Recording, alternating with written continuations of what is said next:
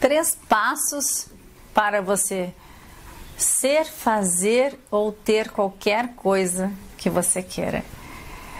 Quais são esses passos que o livro Peça lhe será concedido, ou lhe será atendido, dá para que você siga? Então é muito simples. Os três passos são muito simples, mas eu digo que o, talvez o desafio maior seja o último passo. E é sobre esse último passo que eu vou falar aqui nesse vídeo de hoje.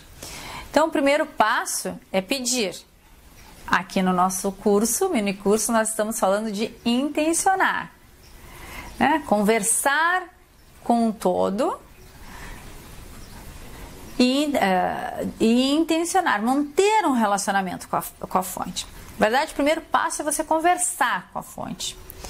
O segundo passo é a intenção. Então, eu falei que o primeiro passo era intencionar. Não, o primeiro passo conversa com a fonte, conversa com Deus, com o Criador. Mantém um relacionamento. E o segundo passo, então, é intencionar aquilo que você quer. E o terceiro passo, que é o passo mais importante, é se permitir receber. Exatamente.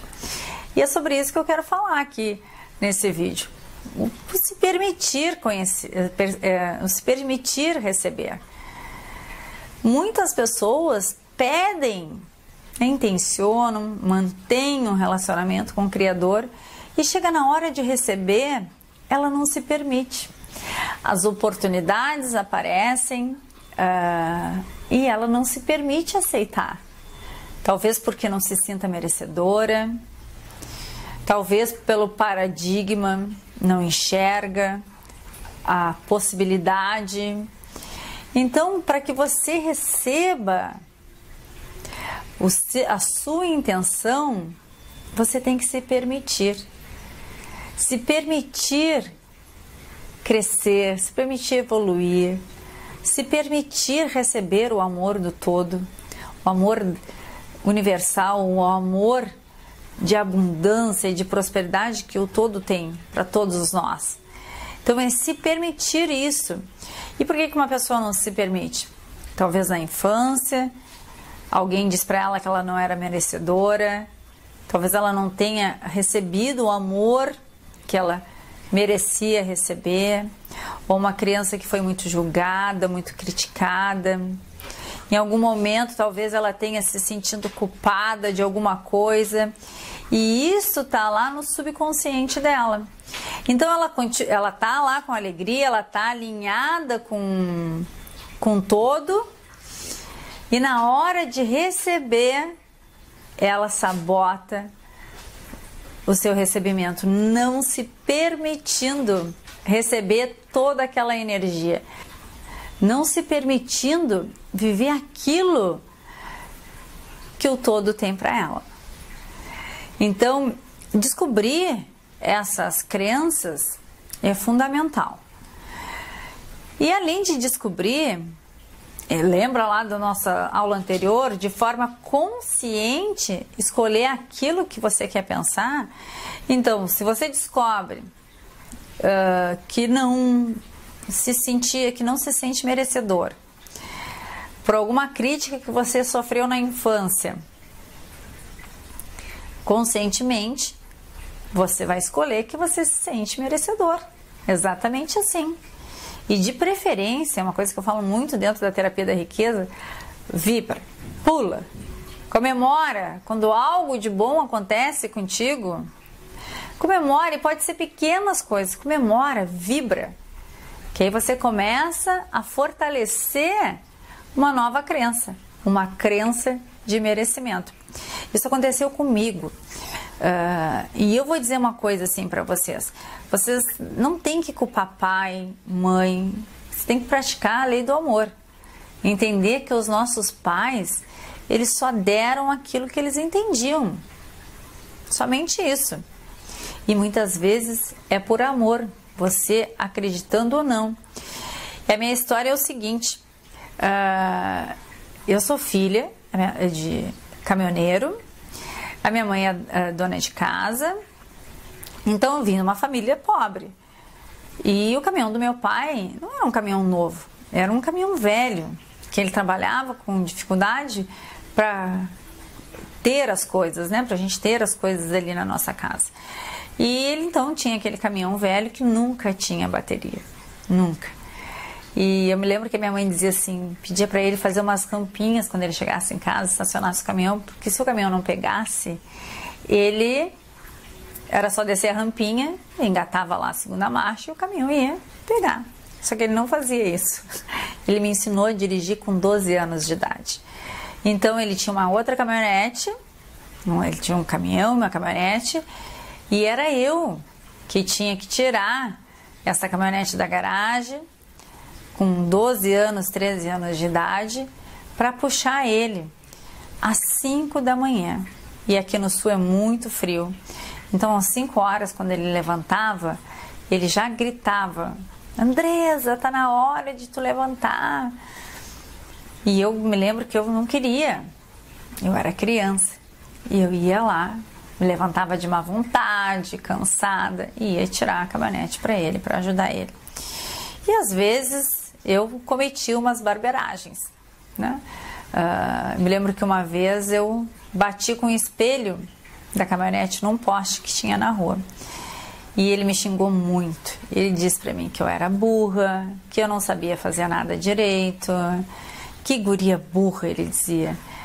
E ele falava aquilo porque na verdade ele queria me ensinar a fazer certo. Ele queria que eu não batesse no poste. Mas ele não sabia usar as palavras certas. Então ele usava aquelas palavras ali achando que iria me ajudar, queria ser mais inteligente. Só que a crença ficou em mim. E essa crença me acompanhou durante muitos anos. Me acompanhou na escola, me acompanhou na faculdade, uh, deu no meu trabalho, porque eu achava que eu era burra, porque eu ouvi aquilo muitas vezes na minha infância. Então, como que uma pessoa burra pode se permitir receber a, as bênçãos do, da fonte de energia? Pois é. Então, esse foi meu grande desafio, porque eu também não me senti, não me sentia merecedora de receber, sabia conversar com todo, sabia intencionar, mas na hora que, meu, que chegava um momento para receber aquilo que eu queria, devido a essa crença de que eu não era inteligente, que eu era burra, eu sabotava, não me permitia receber aquilo que eu tinha intencionado.